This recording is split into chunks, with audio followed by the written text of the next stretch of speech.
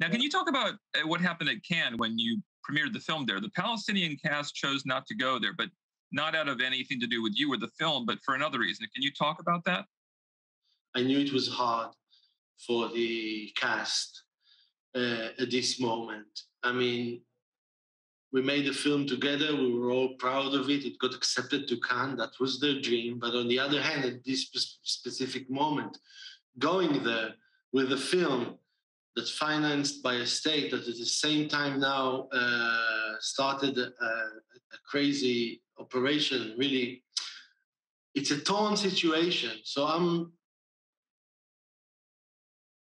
a torn situation that was forced in, in, in a way bigger than us. So we actually spoke together, and we had uh, we had because uh, this film was made with, with really great solidarity and you know, we had different ideas. I said, you know, why don't you we come all together to Cannes and make a statement there at Cannes against what's going on, uh, against the occupation, you know, against the uh, discrimination, and uh, and on the other hand, they felt that was this time was not appropriate. And where I can understand going to this Cannes, which is also a party at this time, it's a problematic.